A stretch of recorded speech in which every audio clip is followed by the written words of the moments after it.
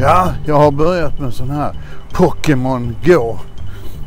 Men det verkar som om jag har gjort någonting fel för att det, det syns inga sådana här figurer i min kamera.